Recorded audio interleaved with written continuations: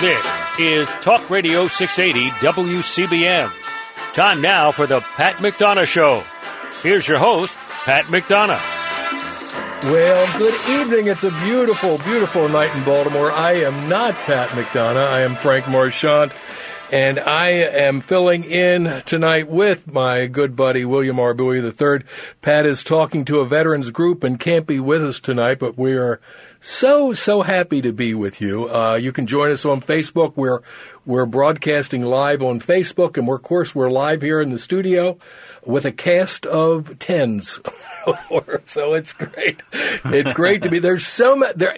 You know, I was talking to Bill earlier about this. We usually have a guest, and we've had some sensational guests on with us. But this week in the news, there so many things have been happening. There's a news blackout for uh, Elijah Cummings' wife, Maya Rockeymoore Cummings. The Sun papers did a little bit about it a couple weeks ago, but they are refusing really to do any more about it. And there's just so much dirt. Um, equal justice under the law. It's it's very evident to me uh, that if you are a Republican, you receive one kind of justice, and if you are a Democrat, you receive a completely different kind of justice. Uh, President Trump's uh, uh, speech, a little, not it was speech, it was just a couple words he said uh, to Stephanopoulos about uh, he would listen to a foreign source if they had some information about a candidate, and then he would go to the FBI, has caused just a yeah on all, on all the stations they've been they've been it's just making a big point of that, but I think it's the desperation behind understanding that 220 is uh, very close. The election it's you, very close. You're right. 2020 is right around the corner. But I'll, t- I'll, I'll tell you this. It just shows how stupid, stupid, stupid, stupid the media is acting. And they are acting really dumb. It, they would get upset if he would order if, if President Trump, who is doing an amazing job in my um, in my humble opinion, he really is. I don't know how he could do any better. Uh, if he would order an extra scoop of ice cream they would go crazy. That's what you have to do when you're desperate. You have to kind of you, are reaching for the twigs on the tree, not the branches, not the trunk, but the twigs. Well, I think that I think that's true. I think that's very true. And oh, our, you know what? Who, you know who our special guest is going to be tonight? It's who going to be it? our caller. So let me give you the number: uh, four ten if you're in Baltimore or the surrounding area. Four ten nine two two six six eight zero. 410-922-6680. And if you're uh, watching us online or listening to us online or on Facebook and you're outside of our area, call us. It's toll free, 800-922-6680. That's 800-922-6680. So uh, let, me, uh, let me ask you, and I'd like you to hear from you at home too. Uh, who do you think the next uh, Democrat candidate is going to be? Uh, that's that's that's the sixty-four thousand dollar question. Right now, I've heard some people say, and it's awfully early, uh, and I believe Pat believes Biden's going to choke, uh, and Biden will not be the candidate. Uh, and it, it, he believes, I think it's going to be Elizabeth Warren. Now, how do you feel about that, Council? I, I mean, I, I don't think it's going to be Elizabeth Warren. I think Biden's going to be the pick. I think in the midst of uncertainty about uh, who the Democratic candidate is going to be. I think it's going to be Biden. I think that's the uh, that's the best horse they have to run, and I think they're going to run that horse. There is so much. There is so much dirt on Joe Biden. So so so much dirt. Uh, the uh, Ukrainian deal, where his son sat on the board yep, of energy, and he made three million dollars in in a couple years, and he was working with a a, a Russian oligarch, and uh, mm-hmm. I, and I and, the news, yeah. and they were going they were looking to prosecute him for illegal activities. Uh, at which point Biden, who was holding a billion dollars, who was in charge of that for the president, he was vice president at the time, said, "You better knock, you better fire the prosecutor, fire the prosecutor, or you're not getting the billion dollars." I now, saw, isn't that, that. isn't that blatant? I mean, that's I mean, got it, to be it's illegal cer- in ten well, different ways. It's, it's certainly a conflict of interest, but I think even before you get there, I think when you look at the competence of the two individuals, assuming that Biden's going to be the Democratic candidate, uh, no matter what you say about Trump, he's a good businessman. He's done an excellent job running the United States of America, which is the biggest corporation. To run. So Biden really, other than being a U.S. senator, unless you can tell me something that I don't know, doesn't have a resume to compete. No, Not without No, even without true. even going to a scandal based type comparison. Um, you're looking at one individual who's who's run multiple corporations, who's been extremely successful, versus another individual who's really just been a politician. Yeah. Well, it's been said of it's been said of Biden he's been the, on the wrong side of every issue for 40 years. I think even even before you get there, if Biden was going to be president, then he would have never been vice president. It would have been Biden would have been the president. Obama would have been the vice president. I think if you just backtrack, if Biden was if it was presidential quality, he would have already been president. At Well, I think point. that's true. I think that's true. You know, Biden did not even want to do the invasion for uh, for Bin Laden. Biden was the one guy in, in Washington who said, "No, no, no, let's not let's not get Bin Laden. He's in uh, uh, he's in, where he is. But, is but again, I think the elephant in the room is that we've got a roaring economy right now. I think We that's do. that's what Americans care about. They care about do they have money in their pockets? Um, I think in terms of a legislate, legislation background, uh, Trump has been able to get the tax the tax reform in. Um, I think because of all of the, I, I guess, just the way Congress is situated at this particular point, it's probably not going to be a lot of legislative br- breakthroughs at this particular point. But Right. tax reform has been done. Um, I think the whole issue of immigration has been put to the forefront of things, um, at least for a conversation. And I think his most important thing that he's done that people don't talk about is challenging China. China, it, Ch- China has been taking advantage of the U.S. for so long yes, you're right. in terms of the trade policy, right. and him going in saying, "Hey, China, we're not taking this any anymore," is something that no one has no one has done. You're right. No one is it's done. funny you would say that because we were just talking about this the other day. Uh, and uh, when Trump was in Japan, he asked uh, Abe, the uh, prime minister there, he said, uh, Why is it that you take advantage of the United States the way you do with trade? And he said, Quite frankly, Mr. President, because the presidents that preceded you allowed us to. Yeah, and in, and the new war, Frank, is not is not about bullets. In my opinion, it's not about any type of nuclear bombs. The new war is business and controlling business. China figured that out a long time ago, and I think so did Japan. And they've attacked the United States of America on the basis of business. I think that's very true. Right. I think that's very Right. true. And that's not talking about all the other things that, that have a tendency to come through our borders, Well, such China as fent- has- such as fentanyl. That's it, it- Well, that- from what I hear, and I don't know for a fact, but seems to be primarily manufactured in China. Uh, Fentanyl came from China. Exactly. It was created in China. Exactly. Fentanyl is a manufactured drug, started in China, and they brought it here. And honestly, uh, we had 150,000 people die from opiate overdoses last year. Right. Right. And if I, I would like to know how many people died from overdoses of fentanyl, because if that's the case, it, you could certainly make a correlation to between what China did and what China has done and what China is doing and the deaths of 150,000 people. Right. And it's interesting. And now, is did I go out on a limb there? I, I, don't, I don't think you went out on a limb, and, I, Okay. and I'll tell you something interesting point. From a historical standpoint, the person who saw the China threat first was Nixon. No, You don't think so? I did totally disagree. well, he engaged. He certainly engaged him. Nixon engaged. Nixon was the first president to actually open up China and explore China. Uh, Henry Kissinger and Nixon, because I remember it like it was yesterday. It was the most exciting thing in the world to me at the time. But I think Nixon did so because he perceived that, for in terms of long term, it might not be Russia who was really a threat, but it might be China.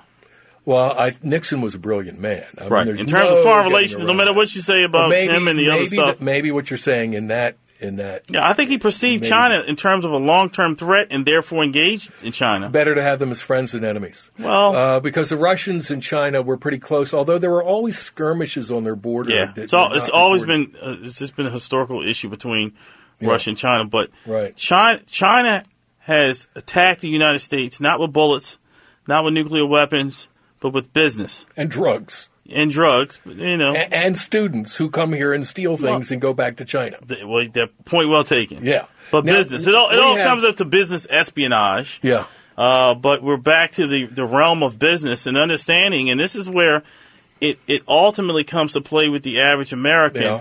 jobs and how trade affects U.S. jobs. Well, it's true. How That's trade affects U.S. jobs. Uh, 410 922 6680 if you're local. 410 922 6680. 800 922 6680. We have Bob in Parkville on the line. Bob, you, what, what's on your mind tonight? Yes, good evening. Good I, evening. wanted to talk about the situation regarding the Roman Catholic Church and this pedophilia business. First of all, the United States is not a country of, uh, uh, of uh, uh, uh, what do you call it, uh, theology. This is a it's completely different because the First Amendment that guarantees, Right. guarantees you freedom of religion, whatever your religion may be Right, Bob, I'm listening. but it also guarantees you freedom from religion. Well, Okay. that's that's true. That's That true. The But United what, States will never, government will never establish a, t- uh, church for the United States like Britain did over there. right, Bob, we got we're up against a hard break here. So what is your point here? Uh, we've got uh, Could you hold me over? Uh, yeah, I, hold, I can hold you over, but I'd like to get to your point. My Uh, point is this: you had the bishops here in Baltimore okay, last week, and they accomplished nothing. okay, Easy, ecclesiastical law yeah, and our, per, our our laws of the United States are completely different. Okay. law. Now, are you Catholic, Bob? I was, and I gave it up about five years ago. Okay. Now, why why did you why did you? Cardinal Law up here in Massachusetts. Sure. Four hundred million dollars they paid out so far because of this bum, and he kept running the, these pedophile priests from one side of the state to the other, covering up. Isn't that horrible? It's uh, absolutely horrible. I totally agree to, with you. To, to the Vatican, protect him over there. I used to like John Paul. I thought he was a great man. That changed my mind right there. Well, This Bob, guy- I can't disagree with you. I think that's absolutely deplorable. Absolutely deplor- deplorable to, to Don't protect. worry about these damn priests that are pedophiles. Yeah, I Don't agree. About the Roman Catholic Church or any other church. That's worry right. About that little kid that's a victim. You are so right. I agree. I can't It's disagree. NAP. Those those kids are grown up now. Most of them. Uh-huh. They have to live with what happened to them, That's right. and That's they cover right. up with it. The thing to do for these dumb bastards, uh, um, pardon my language, Okay. I'm so pissed off. I But the I, thing I to feel you. Is to have them just like anybody else. They're not above the law. If you have an accusation against one of these bums, take it to the law.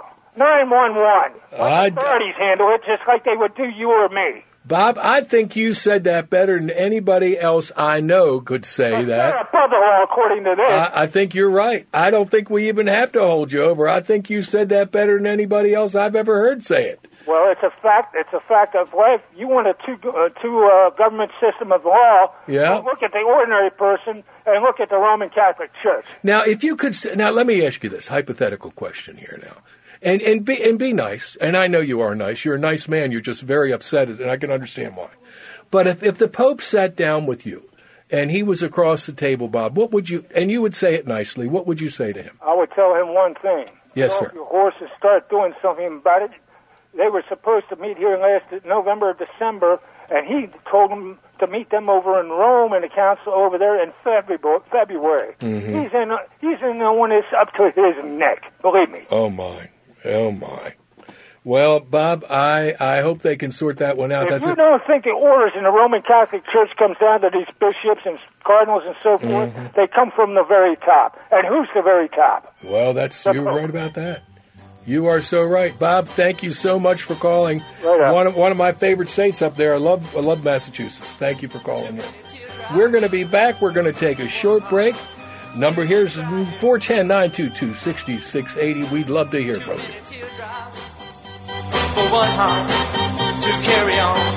Welcome back. We are so glad you're here at Super Citizen Radio, and you can join us every day at supercitizenusa.com. Make sure you see the Super Citizen TV show tomorrow on my TV at 10 a.m. on Sunday. You can't miss that. It's the only conservative television show in Baltimore, Maryland. It's the only one, folks. So if you don't see that, you don't see the conservative news. You don't see the news that's blacked out of the Sun papers because they don't tell you the they, I like them down at the Sun Papers. They're nice folks. Yeah. And I talk to them, and I know some of the editors, and I was, but there are some stories they're very shy about printing. And one of them is this uh, Cummings story. They they did a little bit about it, but my goodness gracious, there's like six, there's 5.2 million dollars missing from a nonprofit that Maya Rockeymoore Cummings did not report. She has not filed a nonprofit record since 1995. Not one record. She has a 501. Uh, she has what's called the Center for Global Policy Solutions, uh, and she's not filing any records. So nobody knows where the money went. And there's a gentleman by the name of Robert Wood Johnson. It's a Robert Wood Johnson Foundation that is the Johnson and Johnson company up in Delaware. And they gave Miss Rockeymoore Cummings a 5.2 million for her for-profit. Uh, I'm sorry, 5.6 million for her for-profit and 5.2 million for her nonprofit. A lot close, of money. Close to 12 million dollars that's unaccounted for. No records are shown. Nothing. And, but but and, and let's go back so we can try to hopefully understand this. okay. The money was given to the for-profit and, non, and nonprofit for what? to do whatever. You'd have to ask Maya Rockeymoore Cummings. I don't know. It's a nonprofit that's supposed to help people, but she hasn't filed any records since 1995, so we don't know. And know. this is Johnson and Johnson, like the big company, like yes, the big yes, corporation. yes, yes, yes. But the the prob- and the National Legal and Policy Center, which is a government watchdog group, has contacted and filed a complaint with the IRS. So they are looking into it. On- But on- on a basis this is a of- major story. That it was a conflict of interest because it's her a husband. total conflict of interest because uh, th- it's not just Johnson and Johnson that gave her money.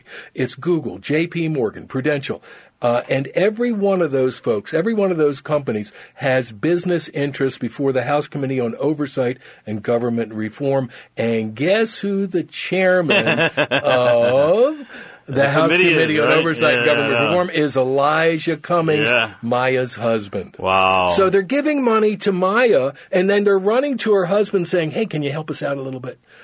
Come on! I mean, how blatant can that be? Why isn't this a story? Why aren't you people reporting it? Now it's been alleged, but the facts of the matter is she hasn't filed any records since 1995. And if you have a nonprofit, you have to file every year.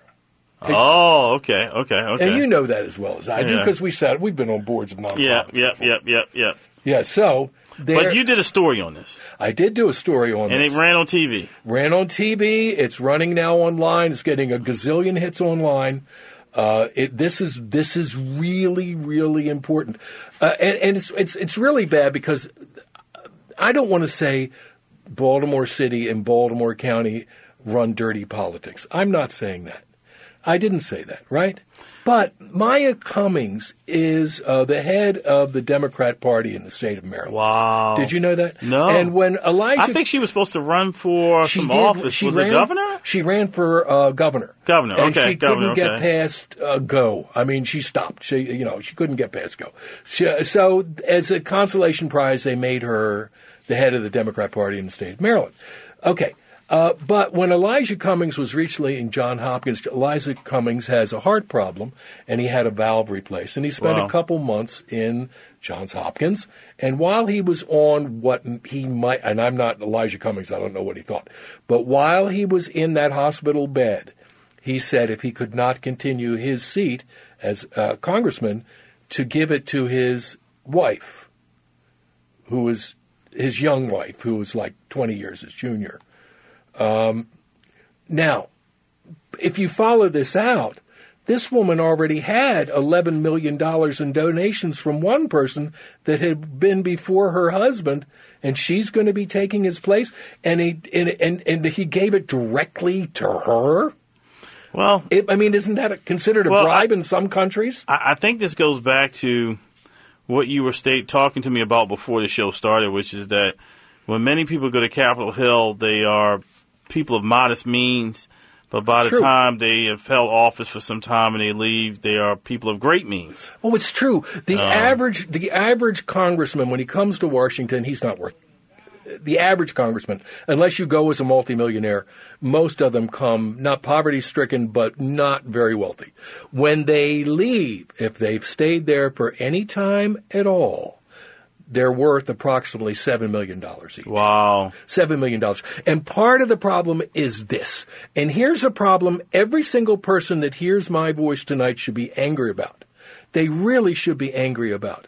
If you work on Wall Street and you hear something about a stock and you buy that stock predicated on the information someone told you, that, and counselor, correct me if I'm wrong, Right. is insider trading. It, it, it is it is inside trading, and and somehow or another the and you can go to jail if you're You on Wall. Street. I, I think that's why Martha Stewart yes, went to jail. Martha If Stewart, if, I you don't believe correctly. right? She Even though was, it was kind of hard to believe she went to jail. Martha Stewart went to jail. insider But, trading, Martha Stewart. Now, let me tell you this, and I didn't mean to interrupt, but No. I'm just so hot about this right now. Nancy Pelosi bought 5,000 shares of a Visa credit card company while they were building a bill in Washington for the purpose of helping credit card companies make money, right? So she buys 5,000 shares. In two weeks, her 5,000 shares that she bought in, in, now this is alleged, but it's not really because it's all, we have all the facts. Right. Uh, uh, she bought for $40 a share, became worth 60 some dollars a share in a couple of weeks after the bill was written. This was complete, total insider trading done in Washington by a congressperson in order to make money, and it's completely legal.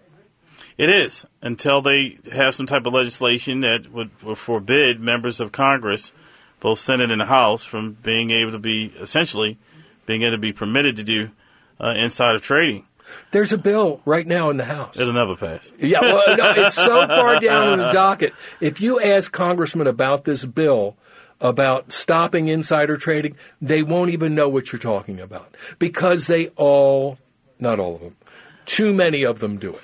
Well, it, it's it's a as we say in the law, it's a loophole. It's something that's there, and it's something that at some point uh, legislation should be passed to correct it, so they will be held to the same standards that other Americans are held to. Uh, but I think that's the problem. Even though we're living in this capitalistic society, uh, it would appear that some people, especially those of the political hierarchy, are able to do things that the average American cannot do, and would, in the case of Martha Stewart, even go to jail for. You're right. Um, so I I mean, it's, it's certainly a problem. But I mean, at least I mean, in the present sense that we have everything, the economy is at least at a thanks thank goodness to President Trump a good state. the economy is Um, rolling. and I think that's one of the things that I'll be honest with you, what the biased media has not talked about. That the economy has roared back from um, the housing crisis of uh, 2008. Um, and, and, you know, I thought, I had a strange thought the other day that, you know, 9-11 was a hit and it was a hit to the economy and then comes the, the, the housing crisis in 08. And we really didn't get our, get our act together on the Obama administration. And here comes President Trump. And whether or not you're for or against him, one thing that you cannot take away from him is the fact that the uh, economy got back on track. Um, unemployment is at all-time low for all groups. Um, and then Right. we're moving forward. Housing prices are rising. Right. And, uh, the train is roaring again. It truly is. It's the Um, lowest and, and this is why, I'm going to tell you something. This is why President Trump is not going to be impeached. You're not going to impeach a president well, and the economy's ruined. It ain't happening. No, sixty-nine percent of the public do not want uh, Trump to be impeached. And then- and then- there's five people in Congress pushing Nancy and Pelosi. then, and then as the scenario hole. goes on, the, the the investigation, blah blah blah, Russian collusion, they come out with the report. They come out with his attorney that uh, turns uh, to, to be a government witness who doesn't know anything about it. And to me, that was the first sign as a, as a legal person, as an attorney. I said, hey, if his closest person doesn't have any evidence against him, then it, then there's nothing there. And lo and behold, he testified. The lawyer uh, doesn't know anything about any collusion. Uh, the Mueller report comes out. Nah, no collusion. Basically, that's pretty much what the report You know says. what? You just led me right. You know what I mean? You led me, and we've got people on the phone lines. I'm sorry. You're, I'm going to get to you. I promise. If you're there, you're going to be on the air. So- uh, it's just let me let me give the number again one more time. 410-922-6680. 410-922-6680. We have some lines open. Give us a call. Out of state, 800 922 6680, 800 922 6680. And we're waiting to talk to you about this. What you said is so. I mean, I think I think the Equal justice under the law. You know where it says that at? You know where it says it that It says at? right on the front of the Supreme Court. Oh, that's why I love you. That's letter. why I love you. big you, letter. You, you, you know what America's about. I That's do. Exactly what it says. But let me tell you this, I used to work on Capitol Hill, and I would I always admire that when I would walk back down to, to the foot of Capitol Hill, when I walk by the Supreme Court, equal justice under law. And if you're a lawyer, it means a lot to you. Yes. It means it strikes. If you're not a lawyer, it should mean a lot to you. It should make it should it should It mean a should lot to you mean if you're. American. And I tell you, this is what's Yeah. chilling. Yeah. This is what absolutely chills me to the bone. Peter Strzok, Peter Strzok, the FBI, and everybody knows who that is. If you don't know who it is, look it up. Peter Strzok, when he interviewed Huma Abedin, right, and Cheryl Mills, who was Hillary Clinton's um, head of her head of her campaign, head of her he chief uh, chief officer, was, was Cheryl Mills. The FBI called them in to interview them. Cheryl Mills asked for immunity, uh, and she got it, which was insane. She shouldn't have. She should not have been given immunity. Huma Abedin did not, and she was asked directly. Did you know that Hillary Clinton's email and server had been hacked? That was a question from Peter Strzok.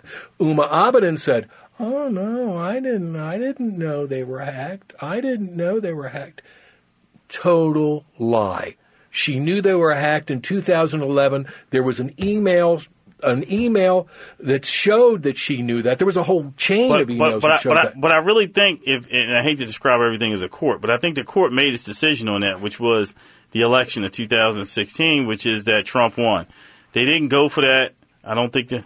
I don't really think that had any credence. Are you sure? And nobody believed the Clintons, uh, and the, and the Clintons essentially lost the election. No, but but it has nothing to do with that. I, I know what you're saying is correct, but it has nothing to do with that.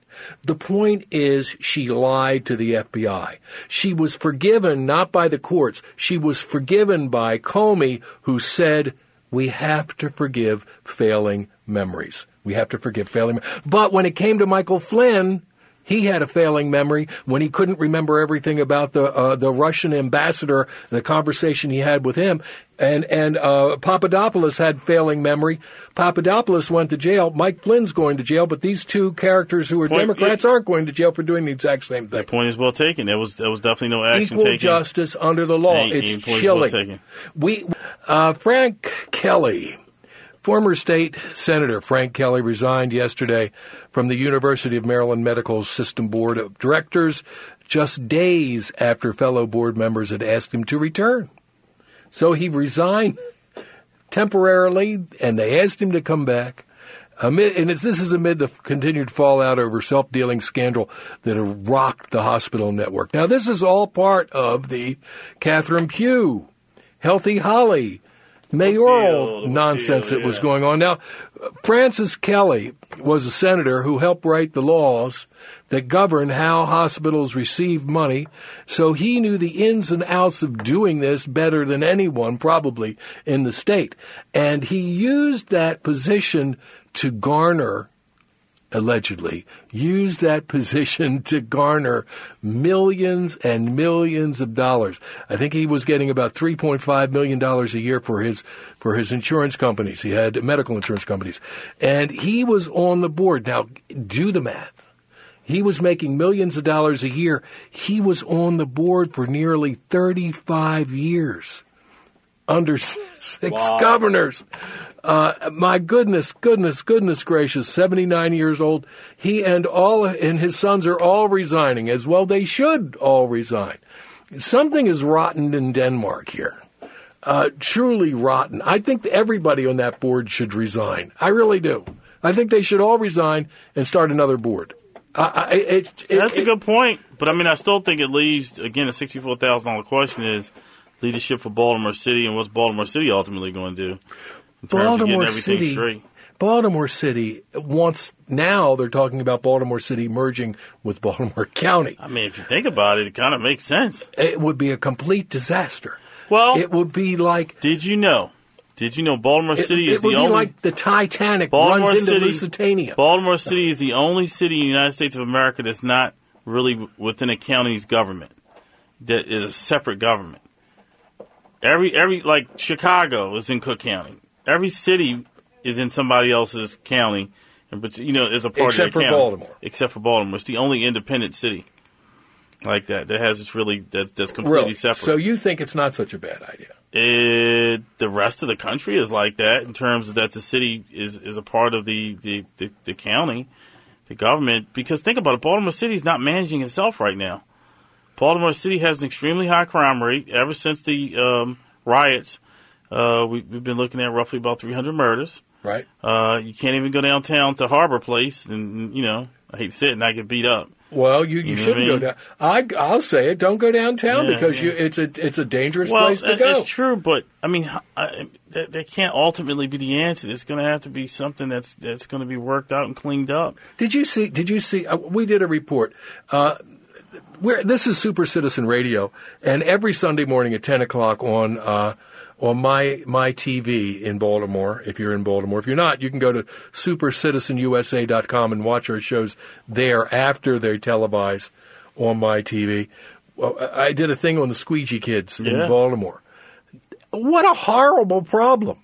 It What a horrible problem. Is. If you don't pay them, they they'll break your windshield. Not all of them, some of them. Some of them, some of them, you have issues with it. One you know. one kid threw something in a car and hit some woman in the face and burst her lip but open. but but I, you would hate for Baltimore City to be at a point where people are comfortable coming downtown. it's it's already there.